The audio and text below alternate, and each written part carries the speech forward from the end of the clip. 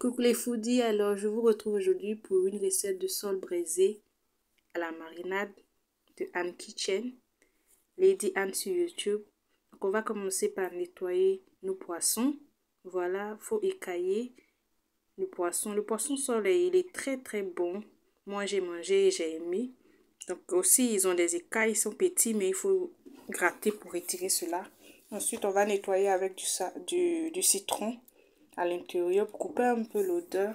Moi, je nettoie toujours mes poissons avec du citron pour couper un peu l'odeur frais du poisson parce qu'il y a des gens qui ne supportent pas l'odeur. Donc, on va bien rincer.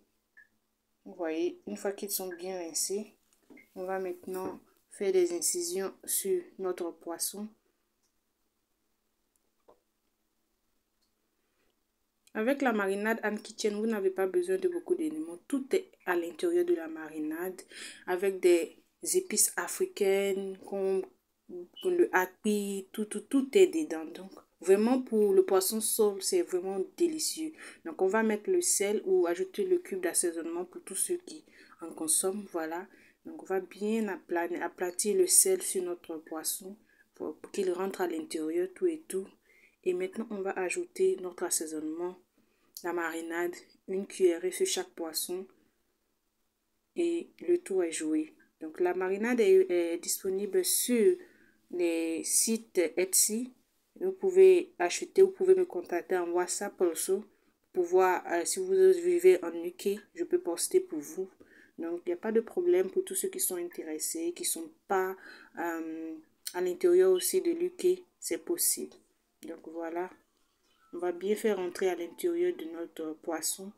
Pour faire ça et laisser reposer une trentaine de minutes avant de passer à la partie braise.